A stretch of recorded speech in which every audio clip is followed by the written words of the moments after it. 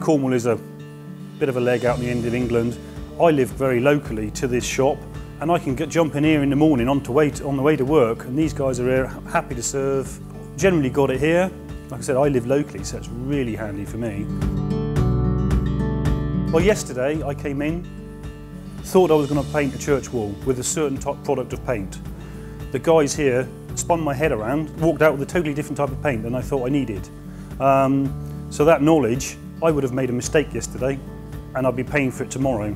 So the, the guys, the knowledge these guys have got, and it's all backed up with all the reps and the, the, any issues you have is totally backed up.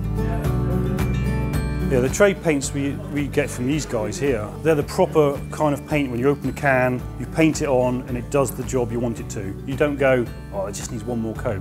It saves you so much more time because it comes down to the quality of the paint that these guys supply you.